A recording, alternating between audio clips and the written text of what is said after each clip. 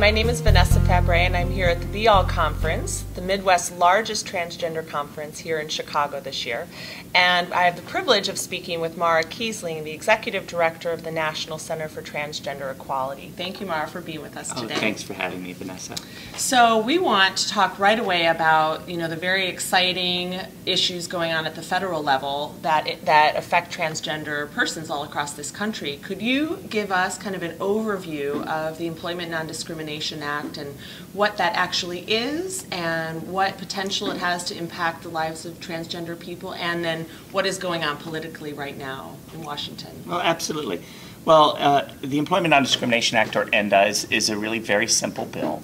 It would just outlaw job discrimination based on sexual orientation or gender identity. So it would become illegal to hire, fire, or not promote um, people because they were lesbian, gay, bisexual, or transgender. Uh, it would it would apply to all transgender people. Uh, it um, it's it's almost that simple. There are a couple exclusions to it that, that I think people should know about. It doesn't apply to the military, so it wouldn't repeal Don't Ask, Don't Tell, but hopefully soon that won't be an issue anyway. There's a fairly broad religious exemption, which means that religious based entities would still be allowed to discriminate. Although more and more that's not that's uh, that's um, not even okay with, with them. So so many religious institutions are now fine with LGBT people. Uh, it, it, applies to businesses, uh, like all civil rights laws in the United States, uh, federal civil rights laws, it applies to um, employers of 15 or more employees. It uh, is the, um, the, the, result of decades and decades of work, uh, starting in the mid 70s with what at the time was called the Gay Civil Rights Bill, which was more than just employment. It was also about housing discrimination and public accommodations discrimination, credit discrimination, and education. Um, now ENDA is just uh, employment discrimination. But interestingly, and I don't know if a lot of uh, transgender people or, or, gay people know this, but most um, th those other things, housing discrimination, credit discrimination, there are bills for those in Congress right now too that have been introduced.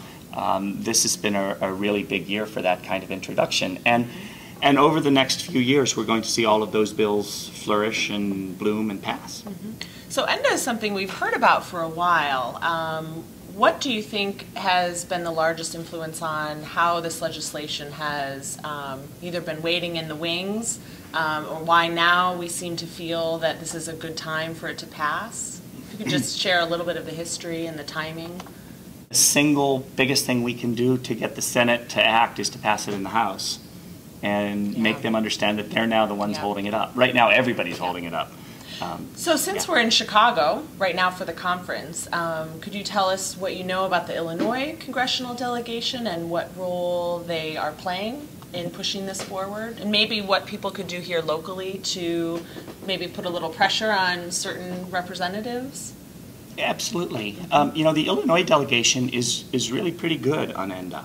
You know, there are there are two Republican members of the delegation who are co-sponsors of ENDA, and that's Judy Biggert and Mark Kirk. They're, they're both very strong supporters of civil rights in general. LGBT people in general, mm-hmm. and, mm-hmm. um, and ENDA in particular. But a lot of the Democrats also are very, very, very supportive. Mm-hmm. Um, I, and I, you know, I feel bad about calling out the two Republicans for specific um, honor there, but you know, a lot of the um, I, I, mean, I could just name you uh, just a bunch of the Democrats who are just spectacular. Mm-hmm. I, I think um, what folks in the area can do is visit their member of Congress. I know that doesn't always seem sexy, mm-hmm. but whether your member of Congress is very supportive or very unsupportive or in the middle, mm-hmm. they need to hear from their constituents about this. Mm-hmm. Even if they're an opponent of the bill, if they hear from enough of their constituents, they're going to be less of an opponent. Mm-hmm. And if they're sitting on the fence and they hear from enough of their constituents, they can come our way. And yeah. we've seen it happen over and over again with members of Congress. Mm-hmm. At our lobby day, um, an intern in our office went to visit his member of Congress, um, and who was a very conservative member of Congress, and that person has signed on and uh, you know has let our lead sponsors know that he will vote yes on the bill. That's a great lesson. That's, Absolutely. That's, yeah, good lesson to learn. Yeah. Well, let's talk a little bit about the National Center for Transgender Equality, okay. um, whom you're representing mm-hmm. today. Um, and you're presenting at this conference? I am. Well, um, the National Center for Transgender Equality, or NCTE, is a social justice organization that, that works to end disrespect, discrimination, and violence against transgender people. Our particular focus is around federal policy and overall society education, uh, which, by the way, are not mutually exclusive, as you know. Um, when you do one, it impacts the other, and vice versa.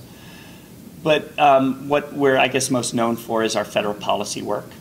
Um, we are a very, very strong voice for transgender people in Washington, D.C. Um, note that I said a strong voice for transgender mm-hmm. people in Washington, D.C. We are not, nor do we want to be, the voice for transgender people in Washington, D.C. There are a lot of great trans folks, whether they work for other LGBT organizations, mm-hmm. um, whether there are other places in the country who definitely make their voices here in Washington, heard in Washington. Mm-hmm. And there are a lot of allies who also are doing great, great trans work around federal policy. But we're a really key component to that. Um, we work as hard as we can to provide as much uh, assistance and motivation for everybody to do great trans work. Mm-hmm.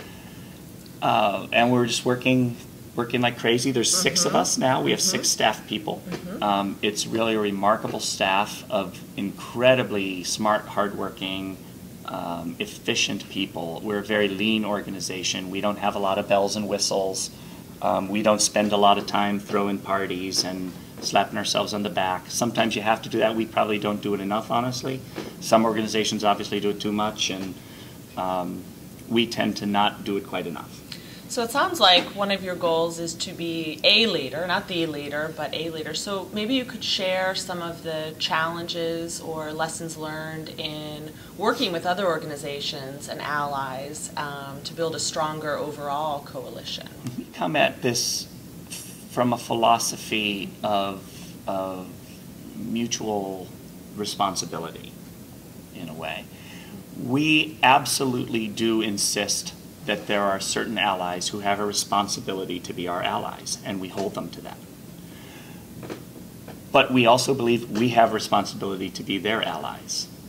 So if, so for instance, it absolutely has to go both mm-hmm. ways, and, and sometimes it's a lot easier to ask for help than to give help. But if, for instance, we want labor to support um, ENDA, and, and, a lot of labor has been spectacularly supportive of ENDA and has really helped move it forward. Uh, we we have to you know we have to understand that their fight is our fight too.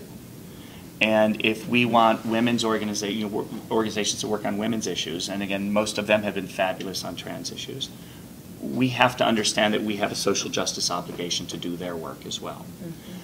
Uh, and, and, I think that's the basis for um, coalitions. Now, all of us, when we're in coalitions, we tend to focus on our own stuff. And I think it's very healthy when we get reminded that we need to do a little better on other people's stuff. And we certainly think it's healthy when we remind people they need to do a little bit better on our trans mm-hmm. stuff. Um, what can kind of your average person do who's watching this to help support the work you're doing?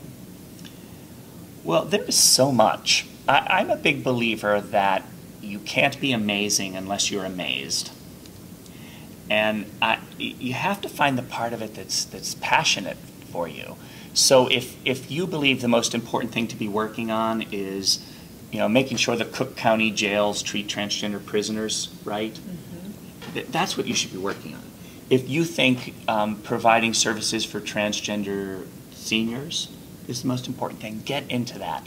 But if you also think that, you know, animal rights is the most important thing, mm-hmm. and if you can bring being trans to animal rights, so that the animal rights people see that there's a trans person who's responsible and doing great things. That's an amazing, amazing help too. But specific to our work, there, there's so much to do. You know, some people, um, you know, we always talk about time, talent, and treasure.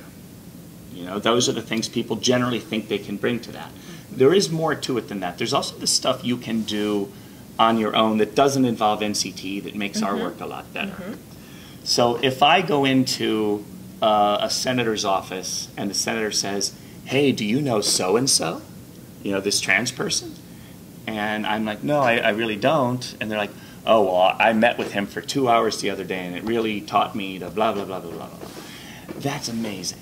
Um, I had a, I met with a member of Congress once in particular who said, "Do you know so and so?" And I said, "Yes, she's actually a friend of mine." And the congressperson said, um, "I was at a party with her the other night, and we had a really great conversation." And that that matters a lot.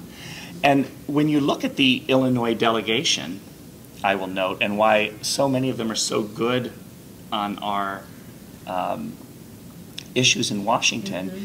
you'll see that they were state legislators and they were people who were educated before they came to Washington. You know, Congresswoman Biggert is a really good example. Mm-hmm. You know, or Congresswoman Halvorson now, um, who has a district adjoining Congresswoman Biggert's. Mm-hmm. She was in the state legislature forever. So she's already been educated by IGA. She's been educated by Equal uh, Equality Illinois. Mm-hmm. Um, and she's, they've been educated by individual members of their constituency. And that helps so, so, so much. Other things you can do. When you have a story to tell, make sure you tell it. Uh, a lot of what we trade on in Washington is being able to tell stories of, of trans people or gay people or bi people around the country. And so make sure we get your stories. Um, that's that those kind of things that are not specifically supporting NCTE mm-hmm. dramatically support our work. Mm-hmm. Um, and they're, they're just very, very important. You know, if you um, are a responsible blogger, you know, blog about what, what seems right to you and, and, and get the word out and get people excited. Uh, I mean, there's just so much to do. Now, with NCT in particular, um, you know, coming to our lobby day every spring mm-hmm. um, is a really, really great thing. Mm-hmm. Um, as I said at our lobby day this year, we know of at least one member of Congress who absolutely came on board. We know of two members of Congress who we weren't sure where, where they are. Mm-hmm. They came on board. Um, they might have been on board before, so I don't want to take too much credit for that. And by the way, I don't get any credit for any of it because it was the people who actually came to the lobby day who met with them. I didn't meet with any of those members of Congress. It's not it's not me, and that's good. Well, Mara, this has been a really informational interview. I know our viewers will get a lot out of this. Um, we really thank you for overviewing a lot of the really important political things going on now. Um, since we are at the All conference this week, um, what does it mean to you to be at this conference, and what are some of your hopes for uh, the impact it will have both for you personally and for some of our attendees? Sure. Well, I, I have an embarrassing thing to admit, which is when I got booked to come to the Be All conference, I thought it was an Army recruitment uh, thing. so uh, it's a little embarrassing. No, seriously, this is my, I believe, my 10th Be All conference in a row. Um, I wouldn't miss it. I come every year. I'm very excited to come. Uh, I have so many friends here. Uh, for me, that's the most important thing. I mean, it is. It's very important that, that NCTE representatives get around the country. And talk about what we're doing and get input from trans people about what we're doing. So mm-hmm. that's that's an important part for us. Um, but I, I love the camaraderie of it. I love the the support that I get personally, and that honestly I get to support other people. That feels so good. You know, I, I did a workshop on Thursday on how to come out to your family and friends. That's a little outside of my usual work but I've been doing that workshop for, for about 10 years now. Mm-hmm. I update it all the time, so don't worry, it's not stale. But of all the work I do, it is the work I get the most thanks for. Mm-hmm. People will say to me, "Oh, that really that really helped me. I'm trying to figure out how I'm coming out to my family now, and your workshop helped me." So I, I love being able to support individuals. Mm-hmm. I love at these conferences that everybody is really here to support each other. Now, it's a conference, so there's also a lot of fun which which most people like, not everybody. Um, but I, I, just I'm just a huge Be All fan. Well, we've been honored to have Mara Keisling from the National Center for Transgender Equality with us here today. And in closing, Mara, could you share with our viewers the place they could go for more information and resources about the, the organization? Absolutely. Our website is www.transequality.org. And thank you, Mara Keisling, for being with us today. Thanks so much for having me, Vanessa.